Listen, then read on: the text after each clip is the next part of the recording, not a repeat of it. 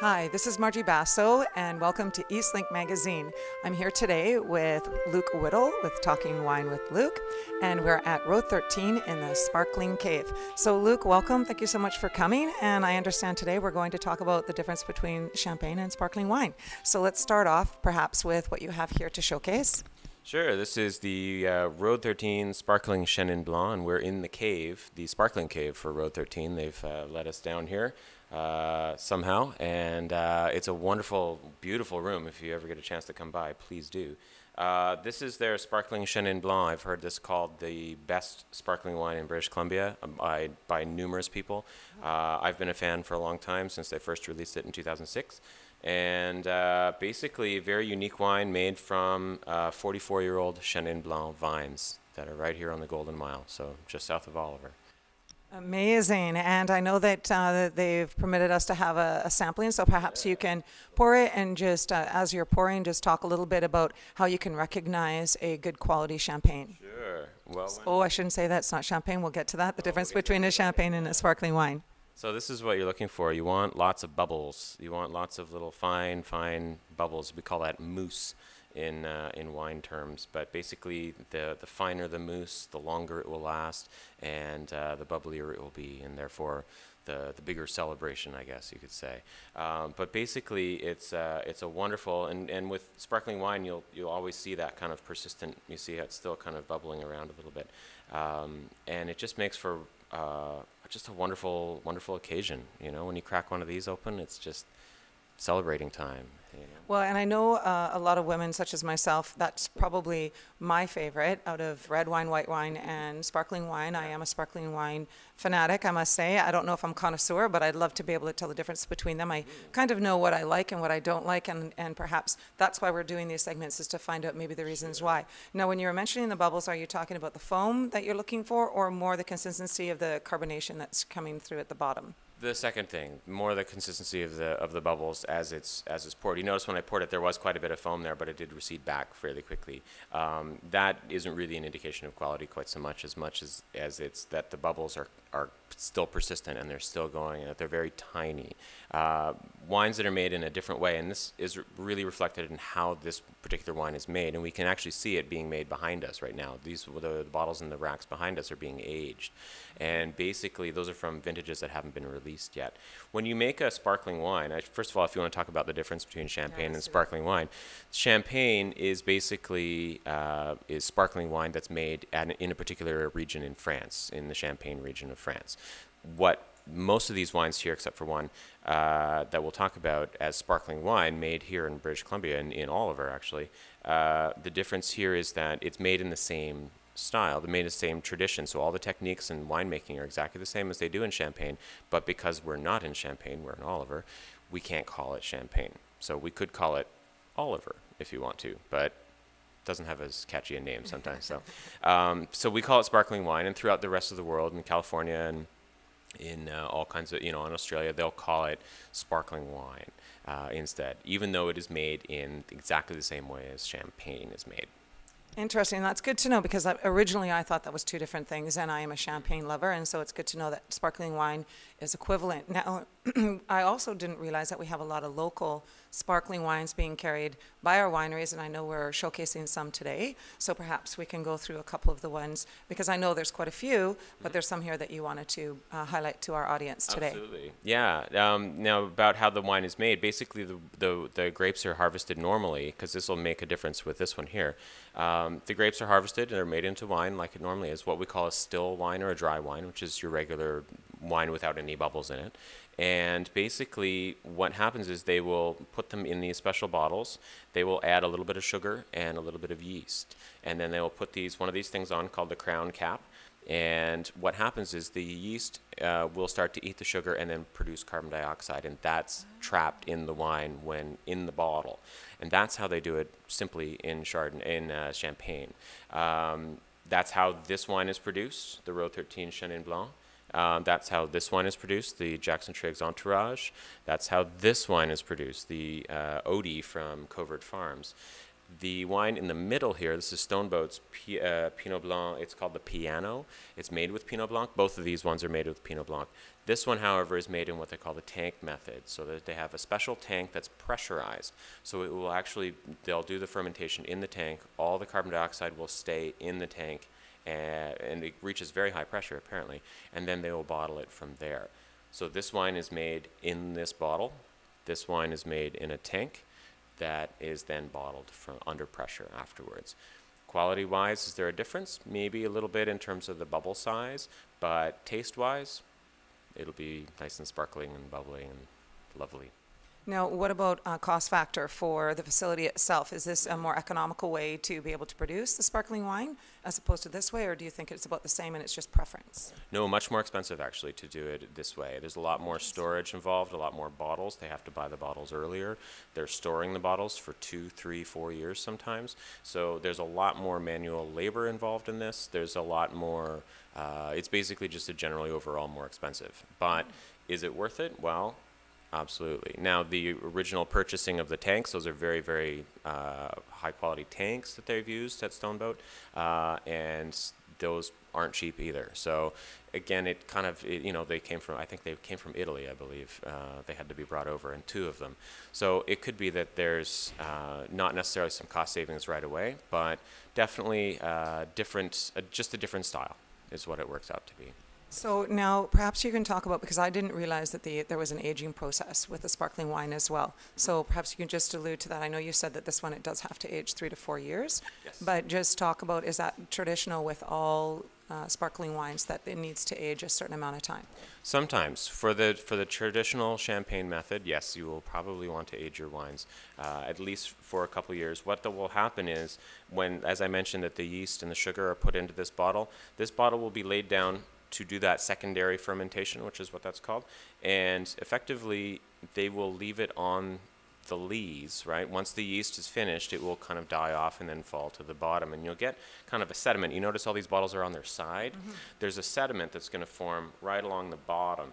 And what that happens is that's the yeast cells that have basically fallen out, and what they what will happen is that those will start to break down, and then you'll start getting all the sort of flavors and aromas that come from what's called yeast autolysis. That's basically the breaking down of the yeast cells. So that's where you get the uh, aromas of bread and toast and sort of a um, kind of a um, like a fresh baked bread kind of yeasty aroma. You know, when you go into a bakery at, or first thing in the morning and it just smells like like bread and it's just lovely you can buy a bottle of lovely basically is which is what i like to think about it.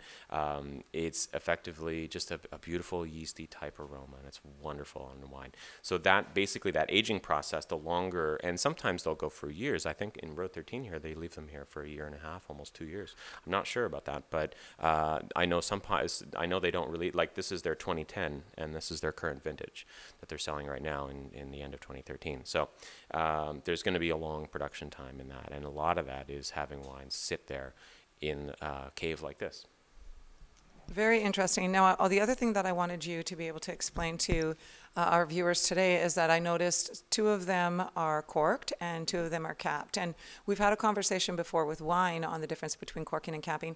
However, I know that a special connotation has always been made to champagne or sparkling wine, that that is part of the ambiance, part of the celebration is the popping of the cork. So perhaps you can explain why some wineries may be deciding to veer away from that tradition and what difference it makes. Uh, really, there isn't that much difference in term for sparkling wine. For Road 13 in particular, they've got their label on the top here, the little tractor label that they use. Um, that was something that at the time when they started this sparkling wine program, they were using entirely screw tops on all of their wines.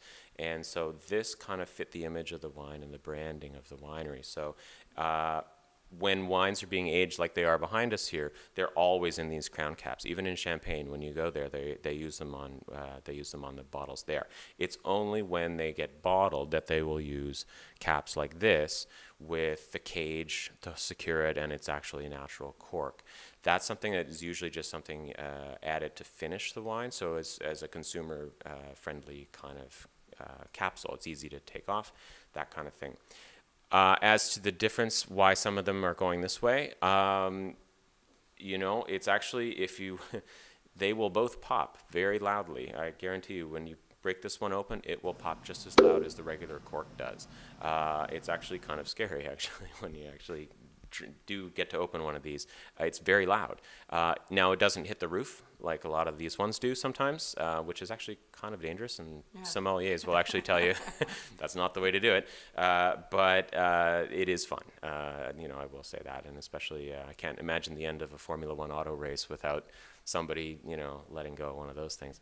Um, but basically, there isn't really that much of a difference when it comes to sparkling wine ver- in cork versus the crown cap, uh, in terms of quality or anything like that. Uh, yeah, as far as I know. I know that we talked um, previously about with wine, I think it was red wine, when we were having that conversation with the cork and the cap. And part of it was so that you wouldn't have a bottle that was deemed what they'd say corked. And you explained what that process is, but that's not the case with sparkling wine then. There's no, there wouldn't be a circumstance where you opened a bottle of champagne and it tasted corked or it tasted flat. That doesn't occur in this type of situ- It- situation? It can, but it can also be that the wine will be flat. If that usually happens, it means there's air getting out, and that means that the bubbles will have gotten out as ready already. So that you'll more likely find a bottle of wine that uh, is is just basically flat. So it's ruined, along with being, uh, you know, cork taint or tainted basically. Um, so. Yes, it may be cork, but that's the least of the worries of, the, of that particular bottle, right? If there's no bubbles, then it's just not very good wine, anyways. Okay, now that brings me to another question, and uh, we want to pick your brain as long as we have you here. And that's storage of sparkling wine. I know that you have to do that differently than red wine or white wine, so maybe you can elaborate on that. You want it a little cooler uh, for the most part. You don't have to. You can have it so that it's basically ready to go. So that basically you're in a you're in a uh, like you keep your wine in the wine fridge, and then it's ready to roll. You just take it out and pop it open. So you basically want it to be serving temperature almost in a way. For wine caves like this for storage, it is actually about the same as regular uh, white wine, red wine or white wine maturing. So really no no seriously different. It's really matter. It makes more of a difference that it's actually stable temperature. That there's no big uh, temperature fluctuations from you know from season to season. So from from summer if it's 15 degrees to winter where it's still 15 degrees. Um, that's the biggest thing, and that's why temperature-controlled rooms like this are really important for a winery to have because it's uh, uh, it's very stable, and that's the stability that you're looking for rather than the temperature itself. So, what about once you actually have opened it? So, for example, Road 13 had that bottle of sparkling wine opened, and now they plan to, you know, they still have to serve that until they finish that bottle. How do they keep it so that it is still showing the bubbles, the quality of bubbles, over the day that it's probably being served to customers? Well, they will actually put a cap that looks like this.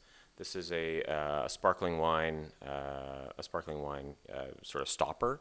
Um, the only difference with a regular stopper is that it's got these little wings on the side that will clamp on to the side of the bottle here, so it won't you won't it won't be able to be forced out. If you just put a regular cork on here in your fridge, in about an hour, the cork will blow itself out um, just from the pressure. There's actually more pressure in this bottle than there is in the tires of your car.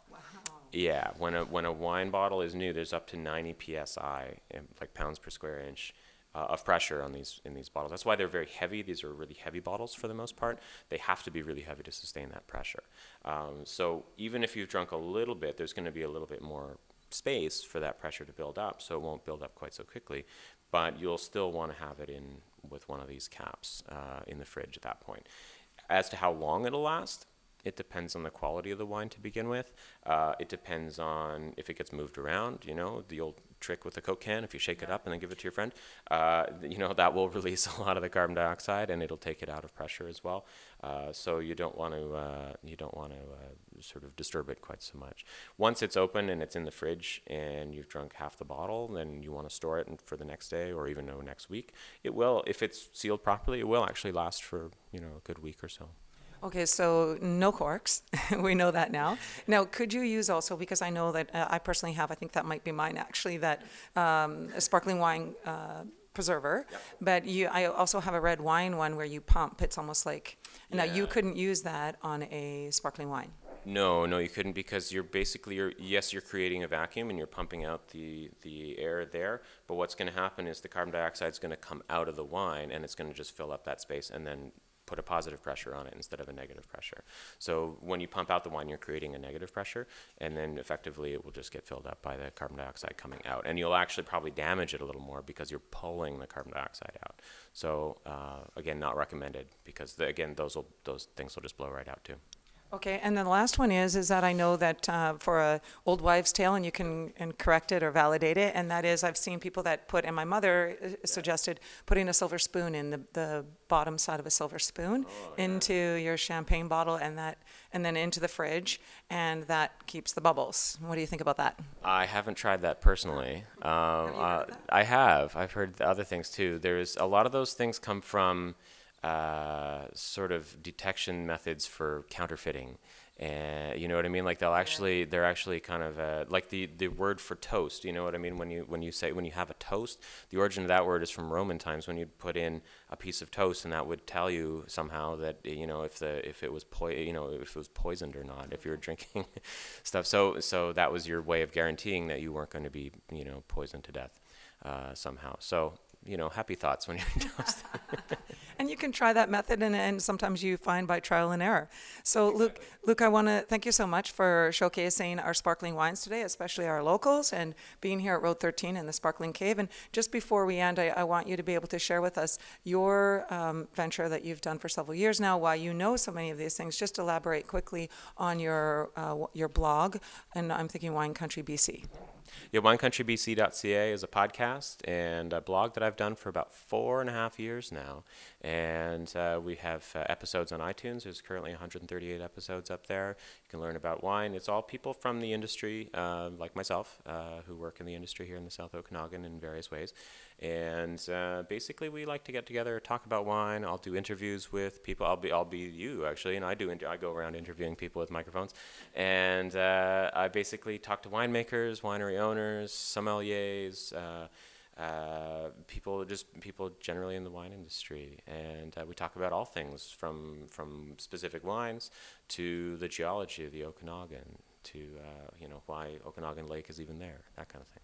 Well, it certainly is fascinating. There's so much to know about wine, and we're definitely in wine country, being the wine capital of Canada. So, Luke, thank you so much. This has been a segment with Talking with Wine with Luke Whittall, and it's Margie Basso with Eastlink TV.